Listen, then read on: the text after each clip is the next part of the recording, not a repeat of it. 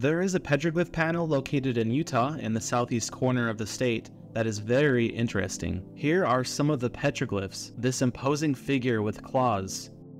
What type of plant is this? And is this a mask? And what is this thing? What do you think it is? To our modern eyes, we probably see some type of trigger with something on top of it. But of course, these things didn't exist 800 to 1000 years ago or more, so what could it be?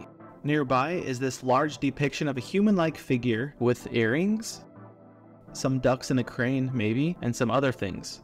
Since these were made so long ago and the people who made them were gone, we just don't know the context and meaning behind them, but they are amazing to see in person.